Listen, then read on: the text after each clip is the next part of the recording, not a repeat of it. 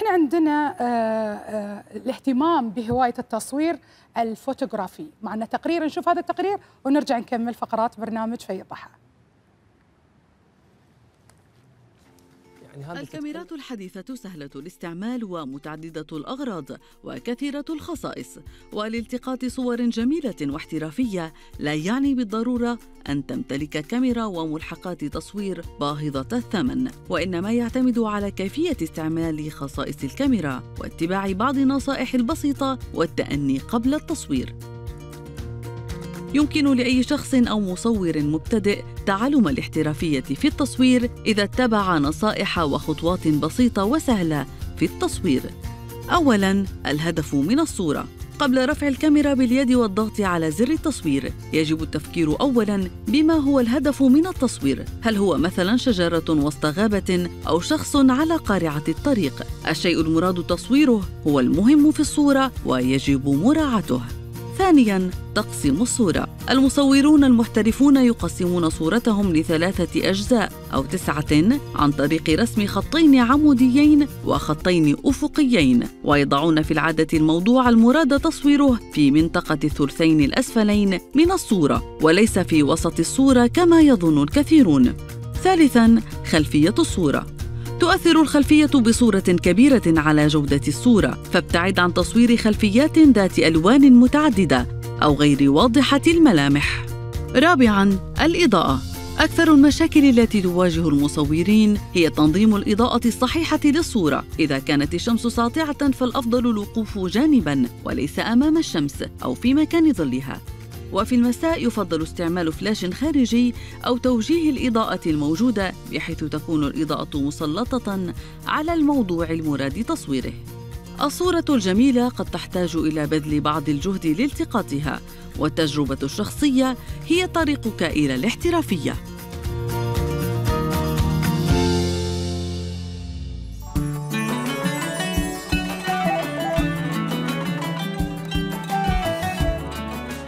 نرحب بكل من انضم إلينا في هذا الجزء من هذا البرنامج مشاهدينا الأعزاء وإلى العين الثالثة وإلى عالم التصوير والتشويق. سنتوقف اليوم مع أساسيات التصوير والمهارات اللازمة لاكتسابها لمعرفة هذا الفن الجميل.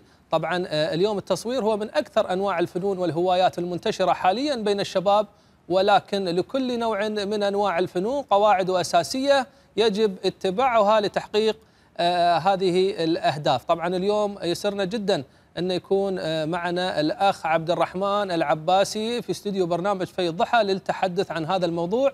يا مرحبا وسهلا فيك. هلا أخوي عمار. مرحبا. مشاعر يا مرحبا. شرفتنا ونورتنا. أنا اسمح لي أقول لك الفنان المصور. نعم. مو بقالين مصور بس. يستاهل. طبعا. شرف لي والله. آه بداياتك شلون كانت لو تكلمنا عنها؟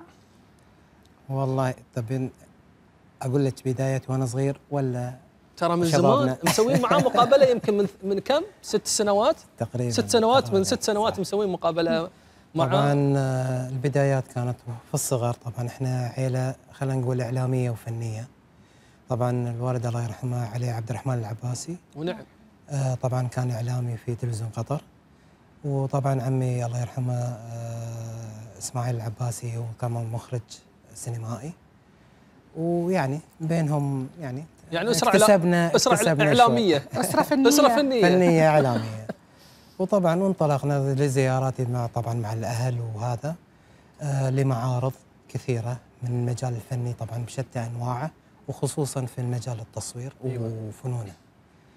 وت يعني مثل ما تقولون ترسخت عندي الأمور والهواية وتمينا شوي شوي شوي لما إحنا كبرنا وحبينا ان نمارس الهواية بشكل أوسع وأكثر. نعم وين وصلتوا اليوم لما كبرتوا؟ تقول كبرنا ومارسنا الهواية بشكل يعني صرنا و- شباب كنا صغار. ها. لا لا هذه السالفة جنبة هذه. خلة. لكن وين وصلتوا؟ آه، يعني في هذه المسيرة اليوم. يعني أنا ت- أنا أعرف عبد الرحمن العباسي آه، في السابق لما كان يسوي أفلام قصيرة. هو طبعا إيه. في البداية على أساس إنه ما يكون اختلاط آه هي في البداية كان فوتوغرافي أو مصور. أيوه. وبعد ذلك التجأت للمجال اللي هو الأفلام القصيرة. وفي مجال الإخراج المتواضع خلينا نقول. آه طبعا اثنيناتهم يكملون بعض لأنهم الأساس واحد أيوة. ولكن المجال هذا يختلف عن المجال الثاني إن هذا ثابت وهذا متحرك لا لا أكثر ولا أقل. ولكن آه، التقنيات في كل فترة تختلف يعني مثلا خلينا نقول في ال- في التصوير تقنيات الكاميرات تختلف يعني على خلينا نقول على طريقة السرعة آه، الأجهزة تختلف الإضاءة قبل كانت وين والحين الإضاءة ما شاء الله تقنيات جديدة الحين LED الإضاءة تخليك واحد ثاني. إيه والفلتر. فيعني إيه ما شاء الله. فهو أهم شيء آه نظرة ال- الشخص نفسه يكون مثقف. هل بإمك... إيش شلون أنا أقدر أظهر أظهر هذا ال- الشيء اللي قدامي بشكل حلو. مثل ما حضرتك ذكرت آه، آه، أستاذ عبد الرحمن إن التصوير تقنياته اختلفت أو تطورت مع تطور العصر. آه، أيضا النظرة نظرة الفنان تختلف عن نظرة الإنسان العادي. آه، نظرتك لزاوية معينة، نظرتك آه، إنك تركز على شيء معين تختلف من الإنسان العادي. شلون ممكن أنا كإنسانة عادية ممكن إن أنا أخذ هذا الحس الفني الجميل؟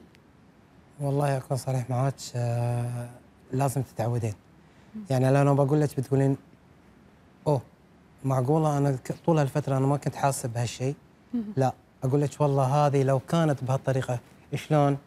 اصورها لك اجيبها لك من زاوية معينة. أي. طول هالفترة أنا ما كنت متوقع إن هالشيء موجود قدامي ويطلع بهالطريقة سبحان الله. ف أركز على كل صغيرة وطبعا في البيت أنا دائما المدام يعني تقول لي شو تركز على شنو؟ قلت لها معلش نظره المصورين فبالتعديل. يعني أنتم مو الله يحفظها مو يا ف... مصورين ها؟ ما, ما لكم اثنينكم بنفس الهواية. والله؟ لا هي تشجعنا ما شاء الله. وبعد نحاول إن شاء الله عيالنا بعد نشجعهم في المجال شوي شوي. طبعا مو بمرة واحدة. يعني اليوم في مسابقات حقيقة أخوي عبد الرحمن آه، كبيرة في مجال التصوير. آه، تقوم فيها مؤسسات مختلفة في الدولة. يعني أيوة. إحنا سمعنا عن مسابقات آه، تطلقها وزارات. سمعنا عن مسابقات آه، في الحي الثقافي كتارا. في مهرجان المحامل أطلقوا آه، مسابقة أيضا للتصوير الفوتوغرافي. صح وكل ما نسمع عن مسابقة نكتشف أن الأسامي القطرية في هذا المجال بازدياد مستمر. الحمد لله. فإيش إيش يعني لكم هذا الشيء؟ والله شوف آه، هو دافع للناس اللي في المجال. يعني تشجيع لهم. طبعا أنا ما بقول لنا الجهات هذه الرسمية أنا ما أعرفهم. ولكن هو يعني إحنا كنا ننظر لهاي الأمور من فترة طويلة أن يكون في تشجيع للموهبة هذه. لأن هذه الموهبة إذا بدعت فيها بتظهر بشكل حلو. يعني ليش إحنا مثلا ما عندنا أسامي معينة؟ أيوة. ما بقول عند ما عندنا لا عندنا ولكن بشكل معدود أو معدود بالأصابع. ولكن في هالمجال إحنا بيبرز عندنا شباب جيل واعي فاهم شلون ممكن ينقل لنا الصورة بشكل مميز وكل واحد على حسب نظرته ورؤيته وزاويته. إيش رأيك مشاعل؟ آه، رأيي أنا كنت بسأله صراحة مم. السؤال يعني بما أنه ما شاء الله يعني تبارك الرحمن هو عندك كذا موهبة آه، مصور فنان تشكيلي آه، مخرج وين تلقى نفسك؟ والله آه، كلهم القى أنا ألقى نفسي في كل ال- المجال المجالات اللي ذكرتيها لأني أنا أهواها.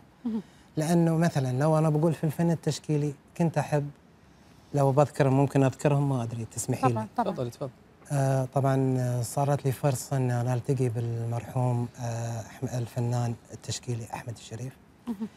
وخصوصا في لوحه لوحه التحدي المعروفة طبعا وكان شرف لي. وطبعا واعشق آه أعمال بيكاسو. وأعشق أعمال سلفادور داري اللي كان مميز وأفكاره الغريبة. فليش ما إحنا بنتميز في أعمال تميزنا إحنا في ديرتنا الحبيبة قطر ونبرزها ليش لا؟ أيوه عبد الرحمن أنا أنا أعتقد إن الدور الحين عليكم لأن الحين قطر يعني هي الأنظار تتجه نحوها يوما بعد يوم الحمد لله بالعكس يعني إحنا تكلمنا يعني. في حلقات سابقة عن دور المخرجين القطريين وصناع الأفلام القطريين والمصورين القطريين في تصوير الصورة الحقيقية لهذه البيئة ولهذا الجزء من العالم. لأن أحيانا آه، الصورة يعني في السابق ما نقول اليوم، اليوم قطر آه، معروفة ولكن في السابق قد يكون يعني الناس ما كانوا يعني يعرفون هذه الثقافة العربية أو الخليجية وبالتحديد يعني هذا الجزء اللي هو قطر. يعني شفنا أفلام نعم تفضل. يمكن أخوي عمر آه النظرة تغيرت. في السابق ما كان الضوء مسلط علينا كشباب أو كدولة قطر. ولكن الحمد لله بعد الإنجازات الكبيرة والواضحة لدولتنا الحبيبه ولحكومتنا الرشيدة برز كل شيء. والحين إحنا علينا إحنا نبرز هالشيء ونطلع المواهب ونطلع كل المجالات اللي هي تبرز دولتنا ونرد لها على الأقل لو شيء بسيط. نعم.